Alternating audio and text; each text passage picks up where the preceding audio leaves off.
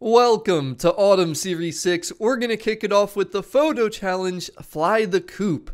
I'm going to show you the two things that you need to know, where the location of the Raul Urias mural is in Colinas Aridas, and then I'm also going to show you how to get the 2016 BMW M2 Coupe, just in case you're not aware. So we'll start right there actually, and the first place you can find it obviously is the auto show. It is 69,000 credits.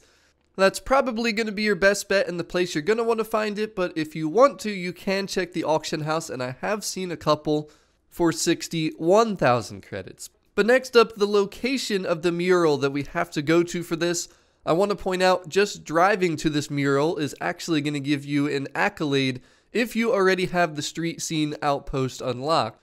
But now I'm simply just showing you me driving to the mural so you can kind of get an idea of what you're going to see and exactly where the mural is on this one building right here. Also want to point out the M2 has some really nice but subtle customization. It has chrome delete and a few other nice little touches, so check out the customization for it before you take it for the photo. But that's it, that's all you need to know. Just pop up photo mode, take your picture there with the BMW M2, and the photo challenge, Fly the Coupe, will be complete. Easy two points towards that brand new to Forza McLaren 765 LT.